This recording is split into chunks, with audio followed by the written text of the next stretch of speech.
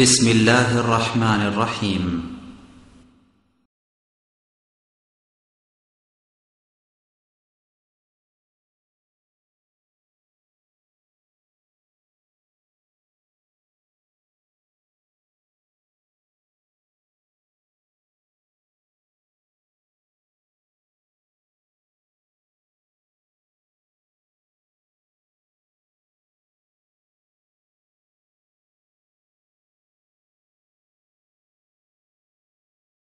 حرام وداعيا إلى الله بإذنه وسراجا منيرا.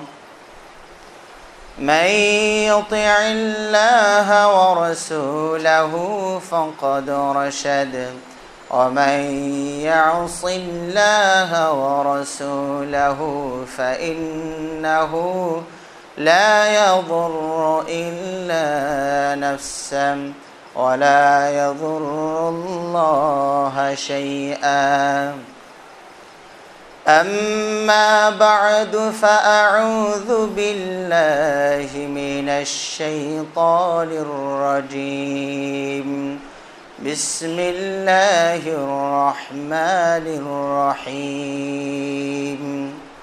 والعصر إن الإنسان لفي خسر إلا الذين آمنوا وعملوا الصالحات وتواصوا بالحق وتواصوا بالحق وتواصوا بالصبر عن علي رضي الله تعالى عنه قال قال رسول الله صلى الله عليه وسلم اعملوا فكل ميسر لما خلق له মুত্তাফাক আলাই আলহামদুলিল্লাহ সমস্ত প্রশংসা যাবতীয় গুণগান মহান আল্লাহ সুবহানাহু ওয়া তাআলার জন্য যিনি আমাদেরকে ইমান আনার পর আবার নেক আমল করার নির্দেশ প্রদান করেছেন সে রব্বুল আলমিনের শুক্রিয়া এবং কৃতজ্ঞতা জানাচ্ছি আলহামদুলিল্লাহ অতপর অসংখ্য অগণিত ও অজস্র সলাৎ ও সালাম শান্তির ধারা বর্ষিত হোক। আমাদের প্রিয় নবী মোহাম্মদ রসুল্লাহ সাল আলী সাল্লামের প্রতি। সমবেত, সম্মানিত মুসলিমবৃন্দ আজকের এই পবিত্র খোদবায় আমি আপনাদের সামনে যে বিষয় সম্বন্ধে আলোকপাত করার ইচ্ছা পোষণ করি, সেটি হচ্ছে ইমান এবং আমল বা সৎকর্ম ইমান এবং সৎকর্ম অঙ্গাঙ্গিভাবে জড়িত। আমরা যদি ইমানের সংজ্ঞা তথা পারিভাষিক অর্থের দিকে তাকাই, তাহলে আমলের গুরুত্ব আমরা বুঝতে পারব। ইমান শব্দের শাব্দিক অর্থ হচ্ছে আত্মসদিক তথা বিশ্বাস করা। এর পারিভাষিক অর্থ হচ্ছে তসদিক বিল জেনান একরর বিল লিসান, আমল বিল আরকান। ইয়াজিদ ওয়ান বিল মাসিয়া। ইমানের সংজ্ঞা হচ্ছে যে অন্তরে বিশ্বাস স্থাপন, মুখে স্বীকার, কর্মে সম্পাদন বা কর্মের মাধ্যমে তা বাস্তবায়ন এবং এ বিশ্বাসও রাখা যে আনুগত্যমূলক কাজ করলে, ভালো কাজ করলে, পুণ্যের কাজ করলে ইমান বৃদ্ধি পায় আর পাপের কাজ করলে, পাপ কর্ম করলে ইমান কমে যায়। তো ইমানের সংজ্ঞার ভিতরে আমাল বিল আরকান তথা কর্মে বাস্তবায়ন এটাকে সংজ্ঞার ভিতরে ঢুকানো হয়েছে, এটাকে রোকন বলা হয়। শর্ত আর রোকন দুটো দু জিনিস। শর্ত বস্তুর বাইরে অবস্থান করে আর রোকন বস্তুর ভিতরে অবস্থান করে। উদাহরণস্বরূপ বলা যেতে পারে, যেমন ধরুন, সলাতের জন্য অজু করা শর্ত, কিন্তু রুকু সাজদা করা এটা রোকন। তাহলে রোকনুসাই দাখিলুসাই অশর্ত সেই খারিজ খারিজ সেই খারিজ আনিস সেই শর্ত হচ্ছে বস্তুর বাইরে অবস্থান করবে। সলাতের ভিতরে অজু নাই। কিন্তু অজু না হলে আবার সলাৎ হবে না। ওটা বাইরের কাজ। সলাতের জন্য ওটা আপনাকে সেরে আসতে হবে। সলাৎ শুরু করে দিয়ে অজু করলে হবে না। ওটা বাইরের কাজ। অজু অবশ্যই লাগবে এটা হচ্ছে শর্ত। শর্তটা বস্তুর বাইরে অবস্থান করে। আর রোকনটা বস্তুর দেহ অঙ্গ প্রত্যঙ্গের মতো। একটা সলাতের ভিতরে যেমন আপনার রুকু, সাজদা, এটা সলাতের ভিতরের জিনিস। তাহলে এটা হচ্ছে রোকন, যেটা বস্তুর ভিতরে অবস্থান করে, সেটা হচ্ছে রোকন মানে গুরুত্বপূর্ণ যেটা। তো ইমানের সংজ্ঞার ভিতরেই আমাল বিল আরকানকে ঢুকানো হয়েছে। আর যারা আমল বিল আরকানকে ইমানের রোকনের ভিতরে না ঢুকিয়ে শর্তের ভিতরে নিয়ে গিয়েছেন, বাহিরে রেখে দিয়েছেন, তাদেরকেই মুরজিয়া বলা হয়। যারা আমলকে পিছনে ঠেলে দিয়েছে। তো যারা আহলুসুন্নাল জামাতের আকিদাই বিশ্বাসী, তাদের আমলটা ইমানের ভিতরেই অন্তর্ভুক্ত আছে। অর্থাৎ ইমান বললেই আমল আপনাকে বুঝতেই হবে। তিনটির সমন্বয় আপনাকে বুঝতে হবে। একটি হচ্ছে অন্তরে বিশ্বাস। তার মানে আল্লাহ যা কিছু অবতীর্ণ করেছেন মোহাম্মদ সাল্লা সাল্লামের উপরে, এই সার্বিক বিষয়ের উপরে, অন্তরের অন্তঃস্থল থেকে পরিপূর্ণভাবে বিশ্বাস স্থাপন করা, এই বিষয়গুলো যে সত্য, এর সাক্ষ্য মুখ দিয়ে উচ্চারণ করা, প্রকাশ করা আর কর্মের মাধ্যমে সেগুলো বাস্তবায়ন করা। অর্থাৎ যেটা সম্পাদন করার কথা বলা হয়েছে, সেটা সম্পাদন করা, যেটা থেকে বিরত থাকতে বলা হয়েছে, সেটা থেকে বিরত থাকা, এটার নাম হচ্ছে বাস্তবায়ন। হাঁটাকে হাঁ হিসাবে বাস্তবায়ন, নাটাকে না হিসাবে বাস্তবায়ন। শুধু ইমানই, শুধু বিশ্বাসটাই মুক্তির জন্য যথেষ্ট নয়। অবশ্যই আপনার কি লাগবে? আমল লাগবে। যেমন ধরুন, আপনি, আপনার আব্বুকে চিনতে পারেননি, দীর্ঘদিন তিনি বিদেশে ছিলেন। আসার পরে আপনাকে পরিচয় করে দেওয়া হলো যে এটা তোমার আব্বু। ঠিক আছে, সবাই যখন বলল, বিষয়টা আপনি বিশ্বাস করলেন যে তাহলে মনে হয় এটাই আমার আব্বু। এই বিশ্বাস করলেন এবং মানুষকে স্বীকারও করলেন যে হ্যাঁ ইনি আমার আব্বু। এইটুকুর ভিতরেই সীমাবদ্ধ রাখলেন। এটা তো যথেষ্ট নয়। কাজে পরিণত করে দেখাতে হবে যে এটা আপনার আব্বু। তার খাওয়া পড়ার দরকার থাকলে তাকে খাওয়া পড়া দিবেন। সাক্ষাৎ হলে সালাম দিবেন। শ্রদ্ধার ভাবে তার সাথে কথা বলবেন। অসুখ বিসুখ হলে ঔষধ কিনে দিবেন। এইটার নাম হলো কাজে বাস্তবায়ন। কিন্তু আপনি শুধু বিশ্বাস করলেন উনি আমার আব্বু। মুখেও স্বীকার করেন আব্বু। কিন্তু আব্বু একদিকে থাকে, আপনি আর একদিকে থাকেন। তার সুখে দুঃখে আপনি কেউ তার পাশে দাঁড়ালেন না। তাহলে আপনার এই বিশ্বাসটা শুধু চার দেয়ালের ভিতরে কলবের ভিতরে সীমাবদ্ধ থাকল, বাস্তবে প্র- প্র- পরিস্ফুট হলো না। তাহলে বিশ্বাস যেমন করবেন, স্বীকারও যেমন করবেন, তেমনি কাজের মাধ্যমে বোঝানোর চেষ্টা করবেন যে হ্যাঁ এটা আমার আসলে, এটা আমার আব্বুই। কাজের মাধ্যমে বোঝানোর চেষ্টা করবেন। তো আমরা নবী মোহাম্মদ সাল্লাম যা কিছু আল্লাহর কাছ থেকে নিয়ে এসেছেন, সেগুলোকে আমরা বিশ্বাস করি। মুখে স্বীকারও করি, সাথে সাথে কাজে বাস্তবায়নও করতে হবে। এই কর্মের গুরুত্ব আল্লাহ রব আলমিন কত জায়গায় দিয়েছেন? দেখুন, আমরা কিন্তু একটু আগেই বললাম যে এই কর্ম কিন্তু ইমানের সংজ্ঞার ভিতরেই ঢুকানো আছে। তারপরেও আল্লাহ রবুল্লা আলমিন ইমানের কথা বলার পরে কতবার যে পবিত্র কোরআনে আমলের কথা বলেছেন আমি এক এক রকমভাবে কম্পিউটারে সার্চ দিয়ে এক এক রকমভাবে তথ্য পেলাম। হয়তো ওই কম্পিউটার লেখার ধরন হিসাবে কখনো কম আসে, কখনো সংখ্যা বেশি আসে। হ্যাঁ? তো অসংখ্যবার বলা যায়, এই ইমানের পরপরই আমলে সলের কথা আল্লাহ রব্বুল আলমিন উল্লেখ করেছেন। সুরাতুল বাকরাই দেখুন, শুরুতে আল্লাহ রাব্বুল আলামিন বলছেন অবাশিরিল্লাযীনা আমানু ওয়া আমিলুস সালিহাত আন্না লাহুম জান্নাতিন তাজরি মিন তাহতিহাল আনহার কুল্লামা রুজিকু মিনহা মিন সামারাতির রিজকা قالوا هذا الذي رزقنا من قبل অউতুবিহি মুতাশাবিহা ওয়ালাহুম ফিহা আজওয়াজুম মুতাহহারা ওয়াহুম ফিহা খালিদুন আল্লাহ রাব্বুল আলামিন সূরা বাকারা শুরুতে বলছেন ওয়াবাশশিরিল্লাযীনা আমানু যারা ঈমান এনেছে সালিহাত, এবং সৎকর্ম করেছে। তাহলে ঈমানের ভিতরে তো সৎকর্ম ছিলই।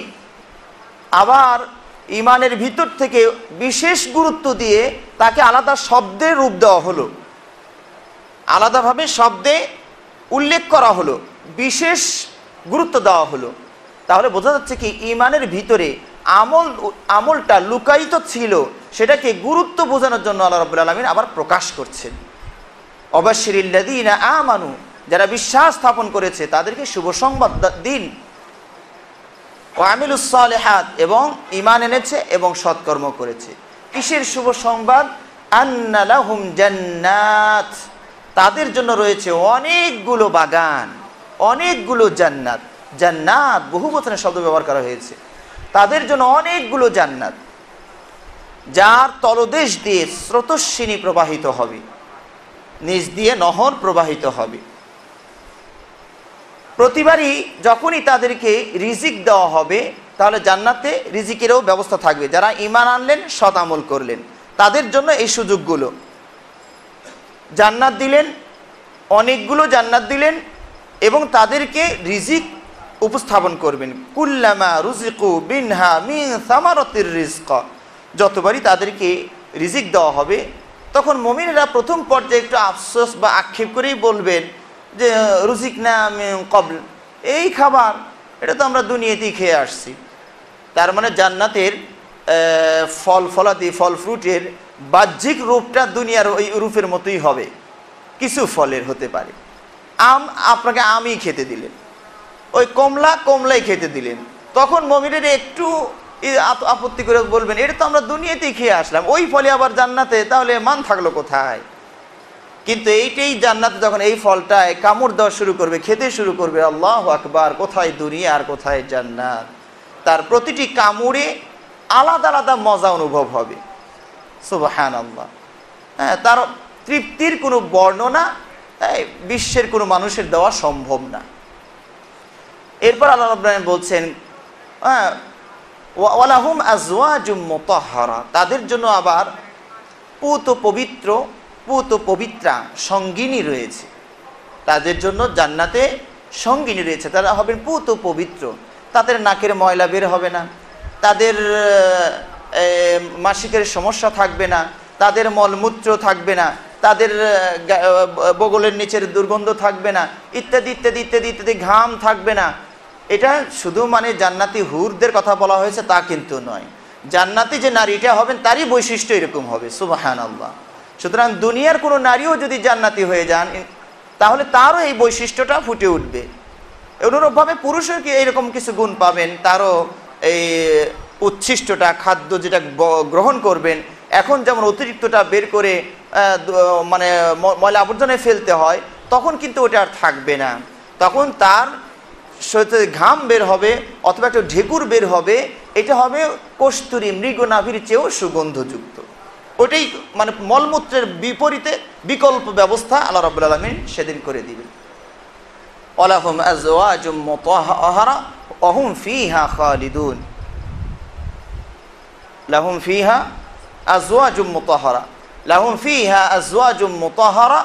অহুম সেখানে তারা চিরদিন থাকবে। তাহলে এই যে সুযোগটা, এই যে ফলাফলটা বলা হলো, কাদের জন্য বলা হলো? শুধু ইমান এনেছি আর কাজ নাই, তাদেরকে কি বোঝানো হয়েছে? না, ওই ইমান আনার পরে আমল যারা করেছে, তাদের জন্য এই কথাটা বলা হয়েছে। আর একটু ভিতরের দিকে যদি আপনি যান, সুরা বাকারান আবার আল্লাহ আপনার বলছেন, ইন্নাল্লাযীনা আমানু ওয়াল্লাযীনা হাদু ওয়ান-নাসারা ওয়াস-সাবিঈনা মান আমানা বিল্লাহি ওয়াল ইয়াউমিল আখিরি ও আমিলা সালেহান ফালাহুম আজরুহুম আইনদরাব্বিহিম ওলা খৌফুন আলাইহিম ওলা হুম ইয়াহজানুন। আল্লাহ রবুল্লাহ বলছেন, নিশ্চয় যারা ঈমান এনেছে, অথবা ইয়াহুদি, অথবা খ্রিস্টান, অথবা অগ্নি পূজক বিভিন্ন ব্যাখ্যা আছে, কেউ মূর্তি পূজা হতে পারে, কেউ জিন পূজা হতে পারে, সূর্য পূজারি হতে পারে, সবের ব্যাখ্যাটা বিভিন্ন মানে অন্য ধর্মের যারাই আছে। মুমিন, ইয়াহুদ, খ্রিস্টান, আর অন্যান্য ধর্মাবলম্বী যারা আছে। এদের মধ্য থেকে যারা ইমান আনবে, তাহলে চার সকল ধর্মগোষ্ঠীকে যেন উল্লেখ করে বলা হচ্ছে যে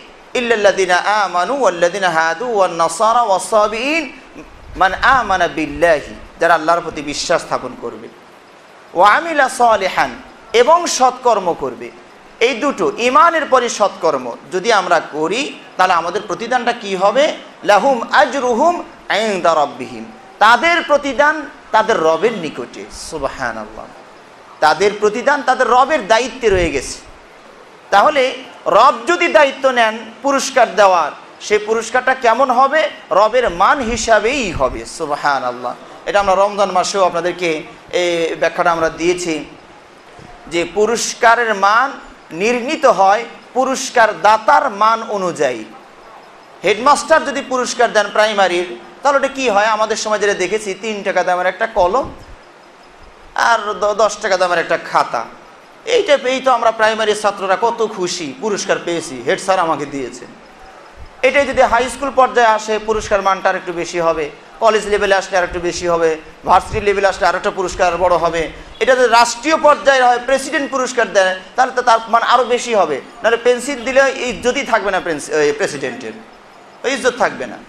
এইটা যদি জাতিসংঘের মহাসচিব পুরস্কার দেয়, তাহলে তো আর অন্য কিছুই থাকে না। ওটা স্বর্ণে স্বর্ণ পদকে পরিণত হয়। গোল্ড মেডেল নাকি বলেন আপনারা, ওইটাই পরিণত হয়। তাহলে পুরস্কারের মান নির্ণীত হচ্ছে পুরস্কার দাতা হিসেবে। তা আল্লাহর মান কেমন? তার হাতে তিনি যে পুরস্কারটা দিবেন, তার মানটাও ওই রকমই হবে। আল্লাহকে যেমন আমরা অনুমান করতে পারি না, কত বিশাল তিনি, তার তার হাত দেওয়া পুরস্কারের অনুমান আমরা করতে পারব না। তার মান হিসেবেই পুরস্কারটা হবে সুবাহান এক নম্বর পুরস্কার হলো তাদের প্রতিদানটা, যথাযথ প্রতিদান আল্লাহ তাদেরকে দিবেন। ওলা খৌফুনা আলাইহিম, তাদের উপরে ভয় বলতে যে কি জিনিস তা থাকবে না সুবাহান ভয়, ডর, আতঙ্ক, শঙ্কা, সংশয়, এই যে জিনিসগুলো যেগুলো আমার যার ভিতরে আমরা সব সময় হাবুডুবু খাচ্ছি, অহরহ ডুবে আছি, আতঙ্ক আর ভয়। একটা শব্দ হলেই লাভ মেরে উঠবো না আমরা। আরে, কি হলো এখানে? কোনো লাগছে নাকি? পালাবো না, থাকব। নানান কিছু। দরজা রাত্রিবেলা খটখটাইলেই এই কি আসলো? কোনো আবার সমস্যা নাকি? মানে আমাদের জীবনটা ভয় দিয়ে ভরা আছে। এই জন্য দুনিয়ার শান্তিটা প্রকৃত শান্তি নয়। ওই প্রেসিডেন্ট বারাক ওবামাই ভাবছেন যে খুব সুখে আছে, না? সেও মহাচিন্তায় আছে। সারা বিশ্ব আস্তে আস্তে কেন যেন হাত ছাড়া হয়ে যায়। সেটা নিয়েও একটা টেনশন তার কাজ করছে, ভয়। হ্যাঁ বা নিজের লোকটাই যে পাহারায় রেখেছি, সেই আবার কখনো আমার বিড়ালকে সুটকি জোগানোর মতো হয়, অবস্থা হয় কিনা, এই শঙ্কাও তাদের ভিতরে কাজ করে। তথা পৃথিবীতে শঙ্কা মুক্ত কেউ নাই ভয় মুক্ত কেউ নাই। যদি প্রেসিডেন্ট বারাক ওবামা যদি ভয় মুক্তই হবেন, তো তার দরজা আবার প্রহরী কেন? আমার চেয়ে ভয় তার বেশি। আমার তো প্রহরী নাই, কিন্তু তার তো প্রহরী আছে। দেহ বডি গার্ড আছে। তাহলে তা আমার চেয়ে জীবন মানে ভয় তারই বেশি, তারই আশঙ্কা বেশি। তাহলে বোঝা যাচ্ছে কি পৃথিবীতে কেউ কোনো মানুষ নির্ভীক বা নির্ভয় নয়। এরপর আল্লাহ রব্বানি বলছেন ওলা খৌফুন আলাইহিম ওলা হুম ইয়াহজানুন। তারা চিন্তিতও হবে না, তাদের কোনো চিন্তাও থাকবে না। এই যে ক্ষমতা পেয়ে আবার চলে গেলে আর এক চিন্তা। হ্যাঁ সন্তান পেয়েছি, আবার আল্লাহ কখন নিয়ে নেয় বুঝতেও পারি না, কয়দিনের হায়াত নিয়ে আসছে। এরকমভাবে কোনো কিছু যাওয়ার আমরা সবসময় দুশ্চিন্তায় ভুগতে থাকি। নিয়ামত আসার পরে আবার কখন চলে যায়? এত বড় একটা চাকরি পেলাম, আবার কখন চলে যায়? এত বড় একটা সুখ পেলাম, আবার কখন চলে যায়? এই যে চলে যাওয়ার একটা অশান্তি, একটা দুশ্চিন্তায় আমরা সর্বক্ষণ থাকি। তো জান্নাতে এই জিনিসগুলো থাকবে না। তাহলে ইমান আনার পরে যারা সৎকর্ম করলেন, তাদেরকে আল্লাহ রব্বুল আলমিন কি বললেন? যে তাদের পুরস্কার তাদের আল্লাহর কাছে, তাদের রবের কাছে। তাদের কোনো ভয় ডর শঙ্কা, আশঙ্কা থাকবে না, আর তারা চিন্তাগ্রস্ত হবে না। এবং সেখানে তারা চিরদিন থাকবে। আর এক আয়াতে যেটা বলে আসলাম সেটা বাক্কার আয়াতে, ওই আগের আয়াতে, সেখানে তারা চিরদিন থাকবে। তাহলে এই যে চারটা বৈশিষ্ট্য, এরপরে যা চাবেন তা পাবেন, এটা আর একটা বৈশিষ্ট্য। পৃথিবীর কোনো মানুষ এমন পাওয়া যাবে না, এমন পার্সন একটা লোককেও আপনি দেখাতে পারবেন না যে সে যা চায় তাই পায়। অসম্ভব এটা। কোনো দিনও সম্ভব নয়। এই অফারটা শুধু জান্নাতের জন্যই। এই অফারটা শুধু জান্নাতের জন্যই। তাহলে ইমান আনার পরে আমলের গুরুত্ব কত বেশি আমরা বুঝতে পারছি। এরপরে আবার যদি আমরা এই আরও একটু পিছনের দিকে যাই, যেমন ধরুন সুরা কাহাফের ভিতরে শেষ আয়াতের মানে শেষের দিকে আল্লাহ রাব্বুল বলছেন সালিহাত কানাত লাহুম জান্নাতুল ফিরদাউসি নুজুলা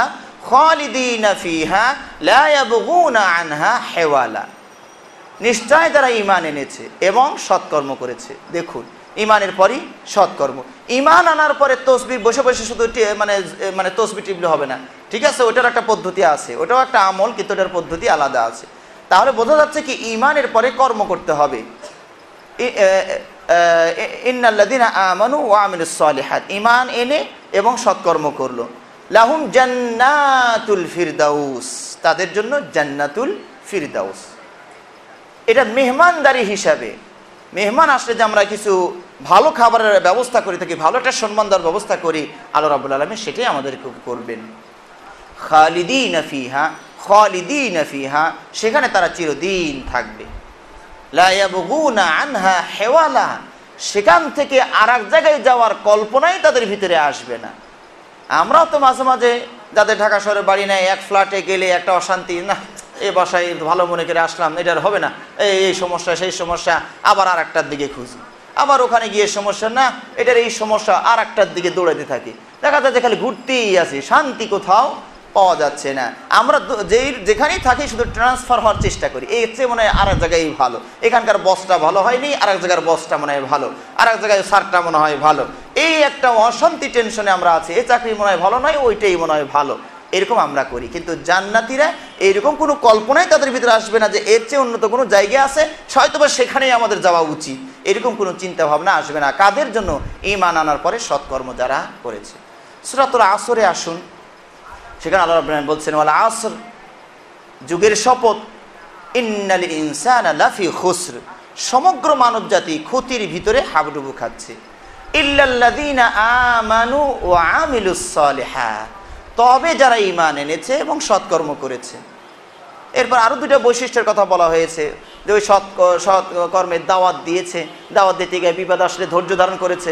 এই চারটা এখানে বলা হয়েছে, কিন্তু ইমানের পরে আমলের কথা বলা হলো না হলো না। তাহলে এই সুরা আসরের ভিতরে ইমানের পরে যদি আমরা আমল করি, তাহলে আমরা ক্ষতিগ্রস্তদের অন্তর্ভুক্ত হব না। বাহ্যিক দৃষ্টিতে পরীক্ষায় যদি আমরা পড়েও যাই, দুনিয়ার দিক, দুনিয়ার বিবেচনায় আমরা ক্ষতিগ্রস্ত একটু হলেও হতে পারি। কিন্তু আখেরাতে আমাদের কোনো ক্ষতির সম্ভাবনা নেই। সুরাত তিনে আসুন, সেখানে আল্লাহ রাব্বুল আলামিন বলছেন আহসানি তাকওয়িম। আমি মানুষকে উত্তম অবয়ব দিয়ে সৃষ্টি করেছি। সুম্মা রাদাদনাহু আসফালা সাফিলিন। অতঃপর আমি তাদেরকে একদম অতল তলে গহব্বরে ধাক্কা দিয়ে নিক্ষেপ করে ফেলে দিয়েছি। কিন্তু ইল্লাল্লাযিনা আমানু ওয়া আমিলুস সালিহাত, যারা ইমান এনেছে এবং সৎকর্ম করেছে, ফালাহুম আজরুহুম আজরুন গায়রু মামনুন। তাদের জন্য অফুরন্ত প্রতিদান। তাদের জন্য বেহিসাব, হিসাব ছাড়া হিসাব ছাড়া আপনাকে প্রতিদান আল্লাহ রব্বুল আলমিন দিবেন। আর আল্লাহর প্রতিদানের কথা কিছুক্ষণ আগে আমরা পড়ে এসেছি। সুতরাং আমাদের ইমান আনার পরে বসে থাকলে চলবে না অবশ্যই আমাদেরকে এটা কাজে বাস্তবায়ন করার চেষ্টা করতে হবে আল্লাহ রবুল্লা আলমিন আমাদেরকে ইমান আনার পরে আমল করার তৌফিক দান করুন আমিন ও আখির দাওয়ানা আনিল আলহামদুলিল্লাহ রবিল আলমিন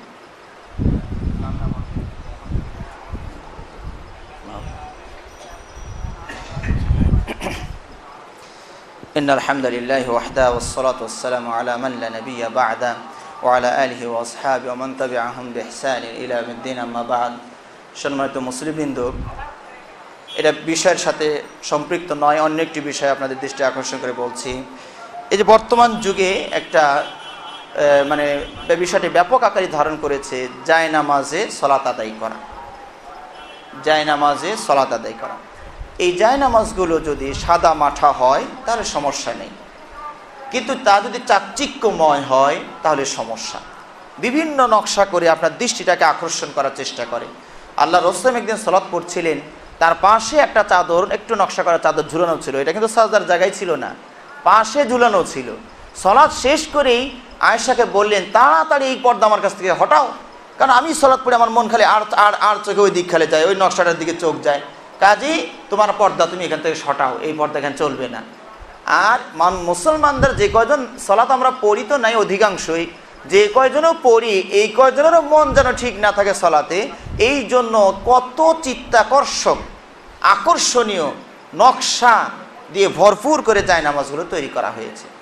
এবং আপনি একটু সূক্ষ্মভাবে খেয়াল করে দেখবেন, সেখানে অনেক ক্ষেত্রে সূক্ষ্মভাবে প্রাণীর ছবি দেওয়া আছে, আপনি টের পাবেন না।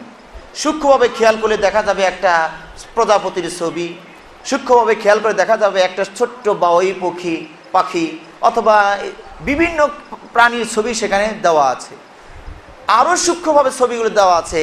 কাবা ঘরের একটা মিনার দিয়ে উপরে অর্ধচন্দ্রের মতো করে একটা দেওয়া আছে। অর্ধচন্দ্র। পাকিস্তানের পতাকার ভিতরে অর্ধচন্দ্র ওই রকম একটা অর্ধচন্দ্র। কোনো জায়গায় সূর্যের ছবি দেওয়া আছে। উদ্দেশ্যটা কি? উদ্দেশ্য বাহ্যিক দৃশ্যে আপনি আল্লাহকে সাজদা দিচ্ছেন, কিন্তু যেন গায়রুল্লাহকেই সাজদা দিচ্ছেন। সাজদাটা গিয়ে পড়ছে চাঁদ, চাঁদের উপরে। সাজদাটা গিয়ে পড়ছে যে সূর্যের চিহ্নটার উপরে। তাহলে ওই যে আয়াতে আল্লাহ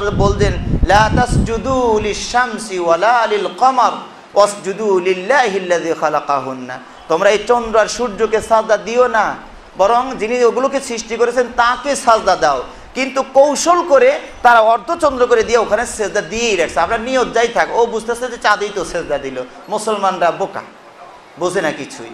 এই জন্য এই জায়নামাজের ব্যাপারে যদিও নামটা নামাজ আমরা বর্জন করি, আবার এই নামটা বর্জন করাও মুশকিল হয়ে গেছে। যায় নামাজ নামাজ আবার যোগ হয়েই যাচ্ছে। এই জন্য এটার আরবি নাম সাজ্জাদা। হ্যাঁ মুসল্লাও আপনারা বলতে পারেন সলাৎ পড়ার স্থান।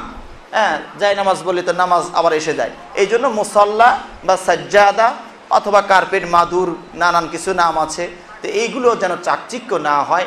হ্যাঁ আমরা অনেকেই জানি, কারও হয়তো পায়ের সমস্যার কারণে আমাদের এখানে হয়তো মাঝে মাঝে নিয়ে আসেন। হ্যাঁ পায়ের হয়তো ভাসি বা কি একটা রোগ আছে, অসুখ আছে, যার কারণে তারা ফ্লোরে দাঁড়াতে পারেন না। তা তারা যদি এরকম নিয়েও আসেন, কাতারটা যেন সোজা হয়, খেয়াল রাখতে হবে।